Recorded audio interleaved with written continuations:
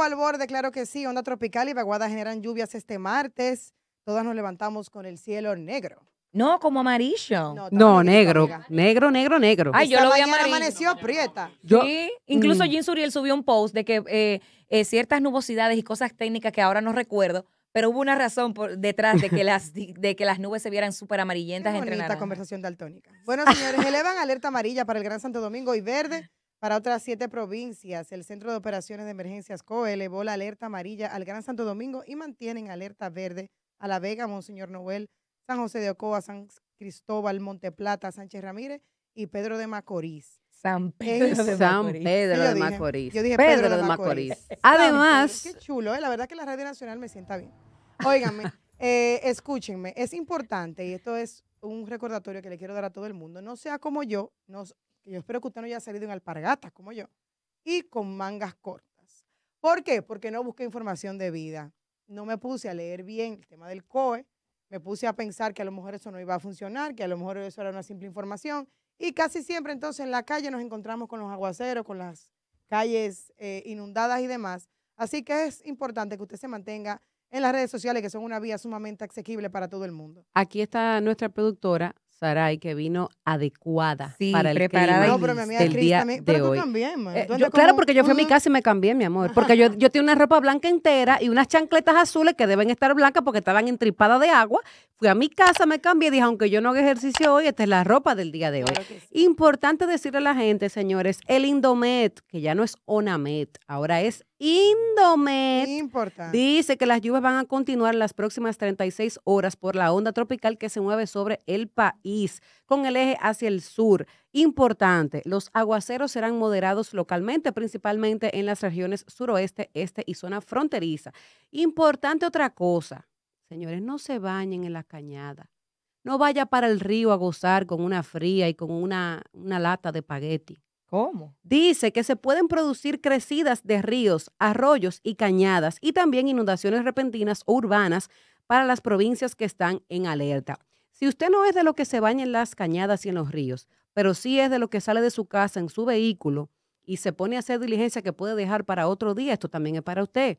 Se van a inundar las calles. Recuerdo que hace un mes, dos meses, la población se quejó y le reclamamos al Indomet que no nos avisaron porque pusieron la alerta a las 6 de la tarde. Eso Pero a las real. 6 de la tarde pusieron la alerta roja y ellos dijeron, miren, pero estaban en alerta amarilla. Y es cierto. Ahora o sea, estamos en nosotros estamos amarilla. en alerta amarilla y la gente aquí no tiene cultura de revisar. En los países desarrollados Claro. usted revisa cómo está el weather y usted sabe qué tú vas a hacer, qué ropa te vas ¿Y a por qué poner. uno lo hace cuando uno viaja? Porque yo lo hago eso cuando yo viajo. Porque aquí... Aquí no. aquí Pero serán hacemos- ustedes, porque de verdad que yo creo que eh, ya... eh, Tú eres mi amor, al eh, Cristal Suriel. no, de verdad, yo lo amo a él. Yo lo amo. yo Claro, le escribo, yo, yo le digo, lo papo, voy a amo. hacer sancocho. Y él me responde, qué rico. No, no, claro, pero no puede ser. invitarlo. No, le digo... La va a buscar. Les digo lo siguiente, mientras Piña busca su DM con Jean Suriel, que lo queremos muchísimo, I love you, boy. porque yo entiendo que él de verdad que da, eh, tiene una, Un don. eh, una, certi- una certeza en todo lo que pone accuracy, iba a Es muy decir, asertivo, señora. es muy Sí, asertivo. sí, sí. Entonces, el de, de hace unos años para acá, que venimos viendo esos Mira, fenómenos importantes que han atacado tanto la nuestra ciudad y que de repente se inunda y todo eso, creo que debemos estar súper pendientes de todo esto y no dar las cosas por sentado ni, ni, ni pensar que eso de alerta amarilla no nos va a afectar y que alerta amarilla es algo muy simple. No, en especial porque vienen más ondas tropicales que ya se están de hecho formando y uno tiene que mantenerse dándole siempre Es que estamos en seguimiento temporada fuerte. Este Exacto. mes es así. Dándole muchísimo seguimiento a todo eso. Así que no crean que porque hoy no llovió y que No, de repente- llovió. No, Y mucho. Y de Mira, hecho, espérate, de hecho, en cuando la dijeron 20 que iba a ser una vaguada como algo leve y ahorita yo venía de camino y yo dije, ok, qué leve. Sí, porque hubieron muchos vientos en la 27, casi llegando a Plaza de la Bandera. Ah, asusté. hay muchos árboles que todavía no han movido del medio porque se cayeron, ramas y demás. O sea que sí hay que tener esto muy pendiente, señores. Alerta amarilla es a un paso de alerta roja. No, O sea y, que- y ahora que tú dices eso, Cristal, importante, y yo creo que aquí el gobierno debe hacer una campaña fuerte de concientizar la población al respecto. ¿Por qué? La gente no sabe lo que significan las alertas. La alerta amarilla en la que estamos actualmente es para ya tú estar en tu casa, es para ya tú cortar la actividad que tienes. No podemos sentarnos a esperar la alerta roja, porque la alerta roja ya es lo máximo que hay. Claro, Desde que estamos en alerta amarilla, usted se recoge, no es espere que esté en rojo para recogerse. Claro, Exacto. y usted también prepárese tener- en casa también. Por Sí. supuesto, y usted también, pero no, no vaya a gastar el papel de baño en el supermercado, que eso no le va a resolver nada. Yo estoy de acuerdo. Bueno, puede ser que sí, pero no, No, un faldito te compra y es ya no es que tienes importante que, comprarlo ustedes tengan una buena relación con Jean Suriel como la tengo yo. Eh, las personas que le mane- manejan las redes sociales a Jean Suriel, yo creo que es él y yo insisto en que es él. Yo inclusive le dije, voy a hacer sancocho en casa de mami. Me dijo, avísame del sancocho de casa de tu madre. Oye. Le dije, wow, me encanta nuestra amistad. Y él te, y él te pregunta de que mira cómo me tienes. Mujeres al borde. Por si no te has conectado, aquí las virales del día. Sí. Dios mío, yo todavía tengo el corazón como acelerado luego de ese comentario. Jean, te queremos y te respetamos. Acelerado el corazón tienen que tener las personas de la ciudad corazón, porque allá Mira, está espérate, yo quiero, yo quiero, desarrollando. dar- yo quiero Ella se va a darte una mención aquí a mi amiga compañera de cabina que tiene un don que se lo dio el Señor. Amén, gracias. Mírame, Cristal tiene un don, señores, para como enganchar de una cosa a la otra, que yo pensaba que de que yo lo tenía, yo no tengo nada. Esta señora es la reina, dale. Me gusta. No, de verdad que la cosa está súper candente en la ciudad corazón en Santiago, porque el ex candidato presidencial por el Partido de la Liberación Dominicana, Abel Martínez, se pronunció el día de hoy sobre la versión de la señora Keire Vargas, quien lo imputa de haber procreado un hijo con ella cuando ésta era menor de edad. Y de Ayer lo haberla, hablamos. Sí, ayer estuvimos hablando de eso, de, de haberla obligado a tenerlo escondido bajo amenaza supuestamente. A través de un espacio pagado en la prensa nacional, el exdiputado dijo que cuando tuvo una relación sentimental con la dama, los dos eran mayores de edad e igualmente solteros. Esta, y cito aquí, esta relación fue de muy corta duración y durante su transcurso ambos actuaron de manera consensuada, establece la publicación. También dijo que cuando se enteró que existía un hijo, inmediatamente se puso a disposición de la madre brindándole apoyo económico para las necesidades inmediatas del menor, aún sin contar con pruebas fehacientes. Cuando usan esas palabras, mire, eso Tú que sabes, tú sabes, En la época de sobre su paternidad. Y pueden encontrar este texto y demás, que Hay es bastante carta. extenso, es toda una carta, él Hay explicando una carta todo que Abel. Martínez eh, eh, expuso dando sus declaraciones sobre el tema. Ustedes saben que ayer ese fue un tema que tuvo en boga todo el día, sobre que si Abel era- sabía o no sabía. Mira, en este comunicado, él alega a que él vuelve otra vez a repetir que él no sabía sobre este tema, pero que siempre estuvo a la disposición de darle eh, manutención a, a ese, a ese niño que hoy es un muchacho ya. Pero espérate, porque yo no sabía esto. Dale. Dice, dice que esta reacción Hay ha sido, dato importante. Sí, ha sido recibida con sorpresa por parte del señor Martínez, porque esta carta habla como en tercera persona, como que es alguien más relatando los hechos. Ya ayudar. que incluso existe una relación de compadrazgo entre ambos. ¿Ustedes oyeron siendo eso? este, siendo este, o sea, Abel Martínez, padrino de otra hija menor de la señora Keire. Pero tema- repite eso, Cris, porque es que la gente yo creo que no, no Hay está un arroz consciente. con mango. Miren. Abel Martínez Di que padrino es de la hija. compadre de Keire. Ese es el padrino de una de las hijas de Keire Vargas, la que ahora lo está acusando de que el hijo de ella, que tiene él. 14 años, es de Abel. 13. Pero yo te voy a decir 13, una perdón, cosa. sí. ¿Tú crees que después de mantener una relación íntima con una persona años más tarde es para que tú lo hagas padrino de un hijo tuyo de otro hombre? Pero además que tú te hagas el loco que, de que ese no es hijo tuyo, que tú no sabes nada, también. Siendo padrino de la Pero hermanita. cuando viene a ver, y de otro hombre y son del todo. Ahí hay informaciones ¡Ay! ocultas. Todavía eh, no se sabe, por ejemplo, el tema de lo de la paternidad. Se están haciendo los estudios. Eso todavía sigue incierto. Pero él alega, y eso fue, a mí me, como que me molestó, yo no sé por qué, pero la verdad es que me molesta que él alega que él no sabía nada, señores. Pero hay que darle el beneficio de la Es que duda ve- porque dice la ley que todo el mundo es inocente hasta que se demuestre lo contrario y nada se ha demostrado de que De que Abel se tenía conocimiento de Pero esto. también es Yamele que lo deja muy mal parado a cualquier tipo de persona, pero más a una persona como él, que es diputado, que fue candidato a la presidencia, que eh, aún conociendo de esto, nunca hubiese, nunca antes tuvo la responsabilidad paterna con ese No, niño. Entonces él no puede venir ahora a decir que sí, yo siempre lo supe, pero nunca hice caso. Él dijo que él, desde que la mujer se lo comentó, él le dio apoyo económico sin pedirle Sí. a la mujer prueba de paternidad, sin él estar seguro que de Pero él verdad el hijo hizo, era, de que él. él lo hizo para que pasara el, tem- el tema De de, la campaña, Porque él tenía un tema de que no quería que acelerara la luz, aquel escándalo para él cuidarse en la campaña. Entonces, atención aquí. ¿Qué es lo que está pasando ahí al final? Ayer hicimos la pregunta aquí, Yamel, que no estabas. Si en nosotras en este caso, obviamente con nuestra pareja y eso, hubiésemos perdonado una situación así, que, que nuestra pareja tenga otro hijo por fuera del matrimonio. Eh, entonces, en este caso, yo me pregunto, ¿sabrá su esposa? La, la puso él al tanto antes de todo este. Lo puso al tanto de que con la persona que él es, él es padrino de su hija, también tuvo una relación anteriormente. Mira, ¿Qué tanto probablemente su ella? esposa no sabía ni que él era padrino de esa niña, Pues yo te digo a empezando ti por que ahí. ella sabe. Y lo segundo es que realmente, en cuanto a tu pregunta, esos son temas muy complicados y usualmente los hombres que tienen hijos eh, de esa forma, ¿verdad? Como le llaman vulgarmente aquí en la calle, lo esconden y lo quieren meter debajo de una alfombra, que al final siempre, señores, siempre sale a la luz y no se lo dicen ni siquiera las esposas. Pues llámenos al decir una cosa. 809-531-9050. Y yo quiero saber, de parte de ustedes, nuestras oyentes queridas, ¿ustedes creen es que, que, es que el se caso de sabía Abel no? es muy específico, porque a lo mejor yo pudiese perdonar algo, o sea, pero en el caso de él, es que él sabía. O sea, porque ya se ha, se ha hablado varias veces de que en ocasiones Keire fue anteriormente a decirle que era de él y él no le hizo caso. Yo tuve que inclusive irse a New Jersey para que la tomaran en serio, porque aquí no la tomaban Yo en lo- serio y recibía amenazas. Con la poca información que pero tengo no del caso, prueba, entonces... yo lo perdono. Esa soy yo.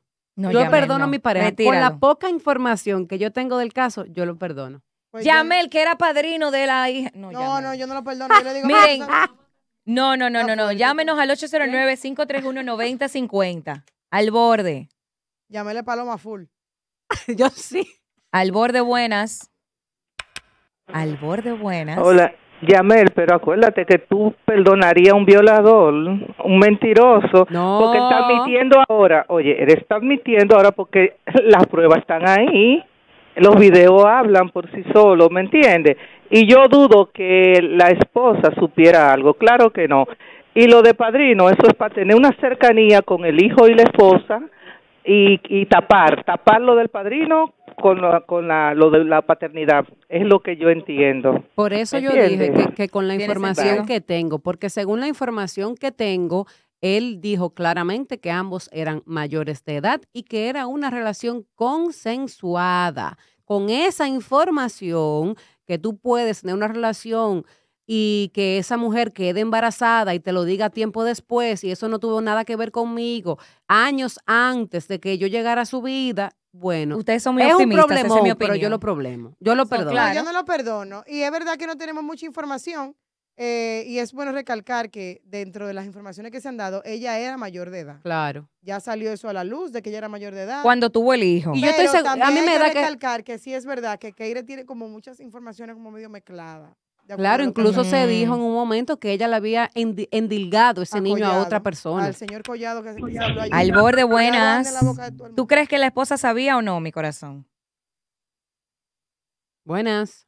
Se fue, no puedo ni responder. Pero ¿y por qué tú Eso le dices que a la no. esposa? No le podemos decir el nombre. Por respeto. Por Porque eso puede ser en cualquier caso, no estamos hablando específicamente de ella, pero en estos casos, ¿qué tú crees? Que el, que el esposo, porque es que para mí es difícil. Tomando en cuenta lo de Abel Martínez y lo generalizamos. Según, ajá, que según, el caso de él es muy específico. pero según yo he visto, eh, en los modos operandi de este tipo de personas, de hombres que hacen esto, les cuesta decir la verdad. Que no lo ve- dicen. lo hacen como ahora en este caso de él, que se ve forzado ya a asumir esa responsabilidad. Al borde buenas. Hola chicas, Hola. Hola. yo creo que esta es una Se está cortando mi corazón. Ay, sí, que creo que es cortina de humo. Cortina de humo, ¿para qué? Chin y cortina de humo. Llámanos Sí. de nuevo, mi reina, para, para ver si se, si ya no se corta. Al borde ¿Por qué fuera buenas. una cortina de humo? Sí, buenas. Hola. Hola, ¿cómo está? Mira, Mira, aquí estamos bien. Dime. Yo ayer estuve viendo, escuchando y viendo los audios de Tolentino Ujú. y esa mujer es muy específica en todo lo que habla. Puso, puso unos audios donde el señor Abel Martínez lo que le está es como mareando, le está diciendo cosas, sí, yo sé, tú tienes la razón, es decir, que él desde el principio sabía todo. Y las actuaciones de él es de personas que sabe que hicieron algo mal y está tratando de tapar las cosas. Es mi opinión. Bueno, mi amor, es tu opinión y se te respeta. Candy, dime. Mi Tú que eres hombre. Mi Dime. punto, de, mi punto de vista. Dale. Mira, él, a mí me luce que él no es que está tapando algo, sino que él cometió un error, se inv- involucró con alguien que en un momento se dio cuenta luego de que a él no le convenía Ajá. porque no era de su nivel o porque era una Le está tratadora, por poniendo lo de que más, fuera. Candy, ya. Por lo que fuera. No, no, yo estoy suponiendo. Es hombre. Ok, no, no, yo estoy suponiendo. Ajá. Pero eh, lo quieren satanizar. O sea, si ella era mayor de edad, lo único que yo veo mal era que ella tuviera por debajo de, 16 de 15, 16, 18 Ajá. años. Lo único malo de todo eso, que haya surgido un hijo de una relación, si ella tenía 18 años, de, si ella era mayor de edad y fue consensuada, son problemas de ellos. Ahora, que ella quiera aprovecharse de que ya él tiene una buena posición, de que él le se puede lucrar de eso, de que él la puede poner bien. eh, es- eh, O sea, él- tú no le crees la versión que ella alega de que fue abusada, de que ha sido sometida a amenazas es y a maltratos por parte de él y su equipo, ¿no? Hay cosas que llaman a, a la perspicacia, que llaman a la atención. Por ejemplo, por ejemplo, el asunto de que primero se lo, eh, se lo achacó a otro. ¿eh? Eso ya me llama la atención. O sea, que ella anda tratando de trepar. Si él pasó por ahí, si la pasó por las almas. Pero tú no crees que fue eso es parte de la misma de sentirse bajo amenaza, de que ella ya ha tenido que encontrar a otra amenaza persona. de que le- y las mujeres le paran a eso. Sí, oye, y las mujeres le paran a eso. Yo que- le creo a ella. no, hombre, no, muchacha. Team no. Keire. Yo no. No. yo no soy team nadie. Yo tengo que esperar que salga más información porque creo que tenemos poca información para, para juzgar o Estoy para ponernos de un lado o de otro. Y también hay que decirlo, señores, y ya aquí me voy un ching más profundo. Aquí en República Dominicana la ley siempre se inclina hacia la mujer y nunca hacia el hombre. Olvidemos que ese hombre es Abel Martínez usualmente en la República Dominicana hay casos donde casi siempre la mujer lo que ella diga, eso es, y punto. Y el hombre que se con Ajá. J. Por ejemplo, lo, y lo, lo dije aquí la última vez que vine, porque es que eso, eso yo, pasarán años hasta que yo me olvide de eso. La mujer, la madre del urbano, que salió a decir que se acostó con su hijo, si hubiera sido un padre que dice que se acostó con su hija, hoy siguiera preso. Pero como fue una mujer que lo dijo, no pasó nada y seguimos la vida normal. Entonces hay que esperar porque también a veces hay mujeres que son abusadoras, que se inventan cosas para sacar beneficio. ¿Ustedes saben quién es la verdadera víctima aquí? El niño. El pobre niño que ya le han achacado dos padres que él mismo seguro no sabe ni quién es su papá Eso de mismo verdad. yo le decía a Stephanie ayer, que el que va a sufrir es él porque es un Que está adolescente sufriendo ya un preadolescente que, o sea, al borde buenas. baje su radio. Bájale el radio un poquito antes de llamarnos al 809-531-9050. Al borde. Candy, cariño, amor mío. Ay, ay, Tú ay. tienes seis hembras, seis mujeres. ay, ay, ay, ay, Candy. Sí, Óyeme valores. bien. ¿Qué tú, o sea, cuál sería tu posición, Dios te libre, que una de tus hijas fuera Katie? Es que hay evidencia, Candy. Eh, o sea, hay ¿cómo así? Si fuera una de tus hijas ella, que siendo le, le De- hicieron lo que le está pasando a esa muchacha. Después de 18 años. No, es que no. El Es problema que mío es la fue- edad, nada fue más. menor de edad. No, no Ella fue lo menor. dijo. No, han salido informaciones de que no. Eso es lo que hay que comprobar. Si fue menor de edad, él tiene que pagar. Tiene que pagar las consecuencias porque Como- estuvo con una menor. Mira, como quiera, él se burló de esa joven. O sea, la manipuló, la mareó, abusó de esa chica, porque están ahí las pruebas. Ajá, y el apartamento que ella le sacó al otro, al primero, No, ella le sacó eso- apartamento y, y- sí, ella lo Al Cali, otro también lo sí, peló. al primero ella le sacó su billete. Tienes que oír todo con Yo oí calma. todo. Todo con calma. Yo particularmente, yo soy Tim Katie Vargas. Ya ustedes saben. Al borde, buenas. Hello. Hola.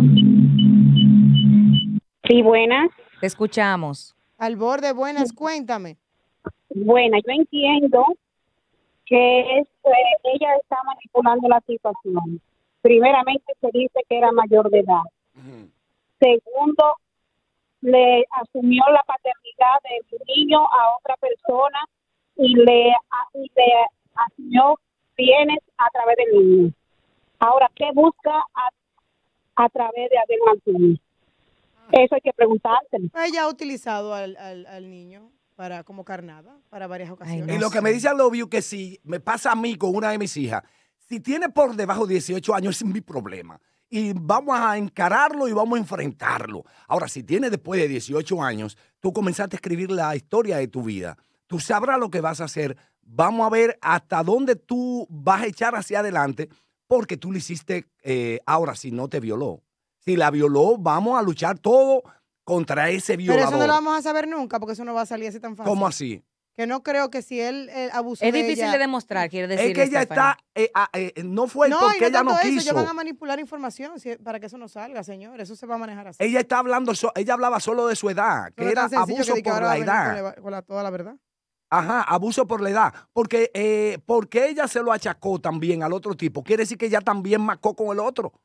¿Me Sí, entiendes? eso sí, ella- ella es Entonces, ella no Ahorita estaba ella, muy ella misma ni sabe. Ella de Pero quién lo que yo no voy a permitir parte- mientras yo esté en esta cabina es que se victimice a una persona por su vida sexual y punto. Sí, pero Tú no sabes, nadie- perdón, perdón, me dan 30 segundos. ¿O quieres joder a No sabemos si en ese momento esa relación pasó como ella dijo. Empezó desde que ella tenía la minoría de edad y luego cuando ella vino a quedar embarazada ya ella era mayor de edad. Y, Y es lo puso un de abuso. Entonces, en ese círculo de violencia y de abuso, señores, es posible, no debemos de juzgar. Sí, no, no, Lo yo no estoy juzgando. Estamos, estamos poniendo el tema sobre la mesa y debatiendo. Exacto. ¿El Y qué? mi punto de vista es que puede ser que ella haya intentado rehacer su vida, se encontró con este otro señor o estaba con este otro señor en ese momento, lo que sea. Y dijo, ay, déjame poner a No, ver eso- de nada padrino de la justifica niña. eso. ¿Eh? Nada lo justifica. No, eso. porque es un método, como decía Yamel en un momento, creo que eras tú, para mantener, no, me- perdón, un oyente, para mantener la cercanía con Abel, para que él se mantuviera floreteándole ahí el camino, cuando ella vio como que las cosas no, no iban, o en el momento que ella se sintió segura, esa es mi opinión, en el momento que ella se sintió segura, ahora que ella no está en el país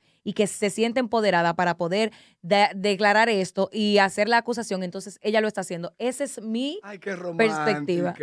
lindo, es muy fácil señalar a la víctima. No. Está mejor que el libro de Figueroa, amiga. Claro. Nadie Óyeme lo que te voy a decir. Ahí hay eh, informaciones manipuladas que van a seguir manipuladas. ¿Por qué? Porque ayer aquí hablamos y hoy aquí todavía sigue la información de que ella se acercó a él antes de la campaña y él le dijo, espérate con dinero. Ajá, y ella aceptó. Y ella Es lo que aceptó, te estoy, pero que te exactamente. estoy diciendo. Entonces, hay Pero no dinero para que informaciones se callara. Dinero para que esperara que pasara la Para que, para campaña. que No, se callara por un tiempo. Ella le dijo, vamos, él le dijo, tengo entendido, vamos a hacer la prueba de paternidad y todo cómo va, pero una vez haya pasado esta campaña, porque tú sabes que esos son unos Mira, yo temas te voy a decir una cosa. Mientras ¿Por qué ese tanto, tema no se quedó callado y ahora Va, que explotó? ¿Porque va. no quiso hacerse la prueba o qué? va, mientras tanto, mientras tanto, te voy a, a dar la manutención. aquí un reguero de cosas. Exacto, mientras tanto, pero esto no es suponiendo, esto pasó de verdad. Ajá. ¿El qué? Eh, que él sí le 37 mil dijo, dólares. que él sí le dijo, no te vamos a hacer la, la prueba ahora, vamos a, mientras tanto yo te voy a seguir manteniendo el niño por estos meses hasta que pase la campaña. Pasó la campaña, ella vio que el hombre no se sometió a la prueba y entonces ahora sale todo a la luz, ya que ella está en un, en un, mo- en un momento y en un lugar donde ella se siente segura de hacerlo. Pero yo te voy a hacer una pregunta. ¿Qué tiene que ver que él se haga la prueba de paternidad, que él vaya a un laboratorio y se meta en un cubículo de uno por uno, un metro, y le saquen sangre y le hagan la prueba? Porque todo eso es completamente eh, íntimo. O sea, la información de lo que tú te haces, un examen, el tema de SIDA, toda esa cosa que uno se hace en los laboratorios, eso es privado completamente. O una Tú cosa dices es... que porque él no lo hizo antes. ¿Por qué no lo hizo antes? Uno. Y dos, parte de lo que Abel dice en esta carta es, él fue quien acudió al organismo rector de niños, niñas y adolescentes para solicitar el inicio del proceso de verificación de paternidad. Aparto de lo que dice la carta porque yo no vivo con Abel ni con Keire tampoco. Oye, lo que pasó, porque yo lo vi, que lo dije aquí también ayer. Si él se refiere a eso que yo vi, donde, él la, donde la citan a ella, Keire, eso fue del 30. El 30, ¿cuándo fue? El viernes. El 30 que tiene, ese documento tiene fecha del 30. Ya el video de ella había salido. Él parece que sabía que todo esto que iba a explotar, ella le seguro le dijo, y entonces ella ya quería. La verdad que nos hemos metido en este tema y nos lo hemos tomado muy a pecho porque realmente es un tema que envuelve a esta señora que primero se vendió como que ella era una menor, ahora ya que es una mayor. Hay muchas informaciones que todavía no están claras. Keire que si se lo adjudicó a Abel, pero se lo adjudicó al señor Collado. Todavía quedan muchas situaciones. Todavía está la hora que no sabemos si él, realmente Abel eh, a nivel eh, real es el papá del muchacho. Y a todo esto, a quien más afecta eso es ese muchacho, pero no ahora. Eso viene afectando a ese muchacho toda su vida. Ay, sí. Eh, o sea que el trauma eh, que ese muchacho ha experimentado no se va a acabar por ahora. Y eso es culpa de su mamá. Claro que sí. Y eso es culpa Su de su mamá la ha mamá. llevado a ese Mujeres que